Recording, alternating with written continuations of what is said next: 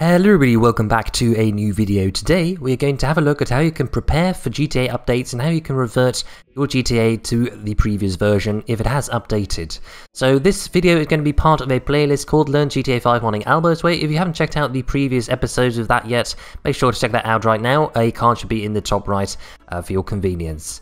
So without further ado, let's get right into the video. So before you update your game, it is very important that you use Rage Plugin Hook to create a backup of your current game version. So my game version is currently, if we right click this and go to properties and then details, you can see that my game version is 1.0.1011.1 and I am running on Rage Plugin Hook 0.51. So at the moment there is an update available for GTA 5 and Rage Plugin Hook, so we are going to have a look at how we can prepare for those updates and then revert back to our current update once it does update.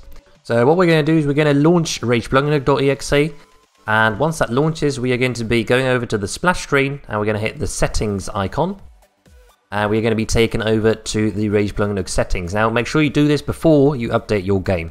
You can see 1.011 and 0.51 are the current versions I'm on. So what we're going to do is we're going to go over to game settings and then we are going to go over to backup game version. You can backup critical game files to allow you to revert to a previous game version if the game is updated to a version that is not currently supported by Rage Plugin Hook. So you might have already done this uh, when you installed Rage Plugin Hook itself, because it comes up with a box, uh, but just make sure you have done this. I have currently not done this, uh, so I'm going to click backup current game version, and that's going to do it for me. As you can see, it's going to save the backup, and that is all going to be good. And once that does finish, uh, we can see that when we go to revert game version, our current version of GTA 1.011.1 is currently in this list. So if it's in this list and it says active here, then you know that you have successfully created a backup of your current version of GTA. Now once you've done that, you're pretty much all ready to go. So we are going to go and click the exit button and we are going to update our GTA 5. Now this might differ a little bit for Steam. If your GTA 5 doesn't want to update for Steam, you might want to go to your Steam, go to GTA 5 and then right click properties and verify the game files and then it'll automatically update. Now because I'm on the retail version, I can just launch play GTA5.exe just like that and it's going to start the updating process uh, through this launcher itself. So as you can see, you're going to be signed in and then you're going to be taken to uh, the loading and this is pretty much the screen where it's going to start the update if there is one available. As you can see, it's going to be downloading the update. It's probably going to take a while depending on your internet connection, so I'm just going to wait for this to update and then I'm going to be cutting over to you once that finishes. And as you can see, once it has finished, it'll say Grand Theft Auto 5 is ready to play. We are going to not click play, we're going to hit cancel. And now we're going to have a look at our current game version. As you can see, our current game version is going to be 1.0.1032.1. So we are currently on the latest game version, and what we want to do right now is we want to revert back to the game version that we were on before. So to do this, we can quite simply now launch rageplugin.exe, and once the splash screen comes up, you'll get a question if you want to back up the current game version, because obviously we are now on a different version of GTA that is newer, so I recommend simply hitting yes just so you have that backed up just in case. You can see it's going to be saving the backup of 1.0.1032.1 and once that is done, it's going to come up with a message. The current game version is not supported. Uh, Rage Plugin has detected that supported game version 1.0.1011 is in the backup cache. Do you wish to revert to this game version? And then you're going to hit yes. So you can see it's going to read the backup in that we created previously before we updated our thing. And then it's going to be extracting it all from the backup. And as you can see right now, our game is 1.0.1011.1 and we are on Rage Plugin 0.51.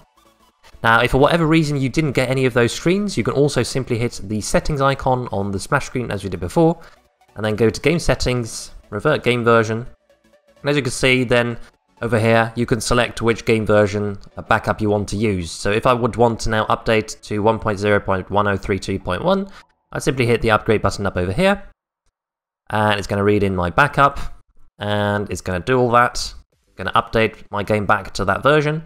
And if I then want to revert back to my old game version, I can simply hit the revert button there, and it's going to do the same. It's going to read the backup and extract everything, and it's going to put that all back in my GTA 5 folder.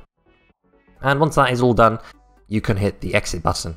Now, sometimes the built-in reverting of Rage Plugin does not want to work with the game backups.rage plugin, so I'm going to look at how we can revert the backup manually right now. As we can now see, we are now on the unsupported game version of GTA, so we are going to just on that for now. We're going to hit the exit button, and I'm going to show you how you can manually restore the game backups that Rage Plugin creates. So for this, you're gonna you are going to need WinRAR. Uh, you should already have that installed from my previous videos, but if not, a link is going to be in the description. So what we're going to do is we're going to hit game backups.rage plugin, and as you can see, We've got uh, files in here. So what we can quite simply do is we can look for the game version we want, which right now is 1.0.100.1, and we can double click that, and as you can see, that is going to now be extracted, and you can see that, that now pops up in WinRAR right up over here. So what you can now do is you can select all these files by holding the control key on your keyboard, like that.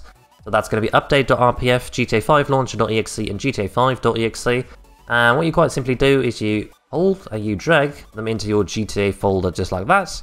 And once it asks you if you want to replace the files in the destination, you click yes, replace the files in the destination. And uh, once that has happened, your game will also be uh, on the version of which you selected, which is currently 1.0.100.1 up over there.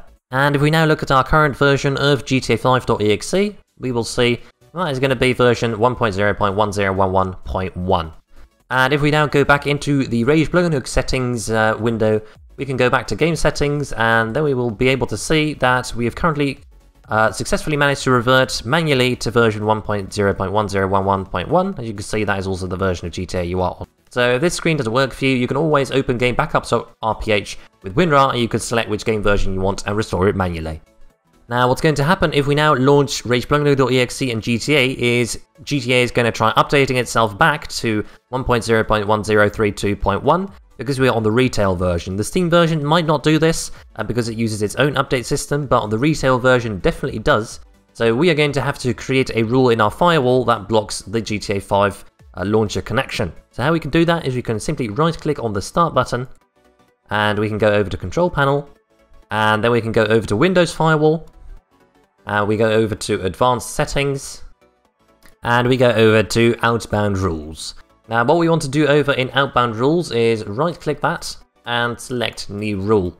And then we're going to select program in this uh, wizard, going to hit next, and then we're going to have to select the program path. So we're going to hit the browse button and then go over to our Grand Theft Auto 5 directory. And once you're in your Grand Theft Auto 5 directory, you are going to select the GTA 5 launcher.exe uh, program. So make sure you select this one and not any of the other ones. GTA 5 launcher.exe is the one you want. And once you've selected that, you can hit next, and we're going to select block the connection, and apply that to all of these, and we're going to call it something like GTA 5 launcher block uh, as a name, and we're going to hit finish, and if we then go back into our outbound rules, we'll see that GTA 5 launcher block is now included in the Windows Firewall outbound rules uh, blocking rules. So once that's done, you can quite simply hit the X button, and you can close this all as well. And now when you launch RagePluginhook.exe, uh, you won't get the GTA 5 updates anymore. Uh, you're going to have to hit offline mode in the launcher, so we'll see how that works right now. We'll hit load RagePluginhook.exe, and it's going to load up our game.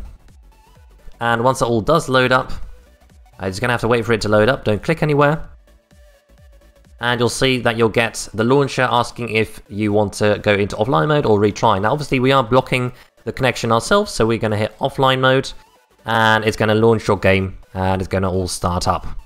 And as you can see, Rage Plugin 0.51 is now loading with our restore backup successfully, and uh, will be put into the game world very very soon after it loads plugin LSPD first response. So to check that you are really on Rage Plugin 0.51, you can go over to the very top of the uh, log and you can see Rage Plugin 0.51 over on game version 1.0.1011.1. Now when you've loaded Rage Plugin and GTA 5 quite often in offline mode, the GTA 5 launcher might require you to have an internet connection to be able to launch it once again.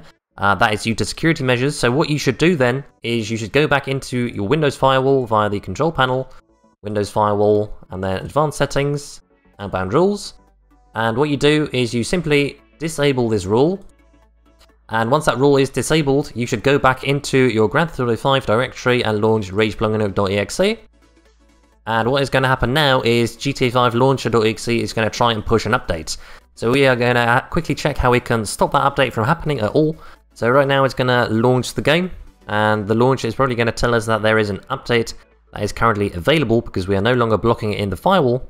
And as you can see, the GTA 5 launcher is going to uh, start up, and it's shortly going to say that there is an update available and there's going to be a progress bar. So once that does appear, make sure to hit cancel immediately so it doesn't get the chance to download the update, and then close RagePluginhook.exe. And what that now means is that it has verified that we do actually have an account and that we all we are all legitimate. So what we can now do is we can go back into our firewall, right-click GTA 5 launcher block and enable the rule again, and then we can just continue playing on our old version of GTA without any problems. So you can quite simply launch RagePluginhook.exe once again, and it's going to launch. And what we're then going to do is we're going to quite simply hit offline mode again, and then it's going to launch our game. So that concludes the episode on how to prepare for GTA updates and how to revert to an old version of GTA with Rage Plug I do hope this helped you out. If it did, please remember to hit the like button, and if you haven't done so yet, please remember to subscribe and check out the previous videos in the Learn GTA 5 Modding Albo's Way playlist, where I cover lots of in-depth uh, tips and tricks on GTA 5 modding and installation tutorials. So thank you all very much for watching, and I will see you all in the next video.